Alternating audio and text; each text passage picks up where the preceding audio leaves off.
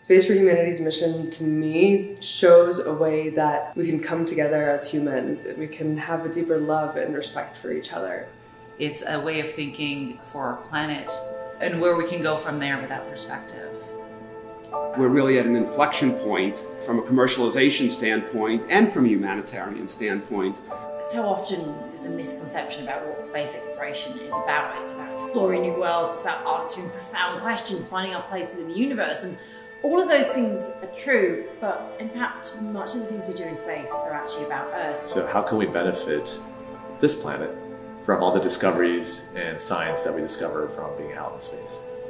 To space for Earth really means everything to me. After having gone to space, I feel like it has changed me in ways that I did not expect it to, and I feel a big, much, much bigger sense of obligation in bringing this experience back to Earth and really changing things for the better. By sending up our citizen astronauts, young people around the world are able to see themselves and start dreaming bigger and accomplishing so much more than we've ever imagined before.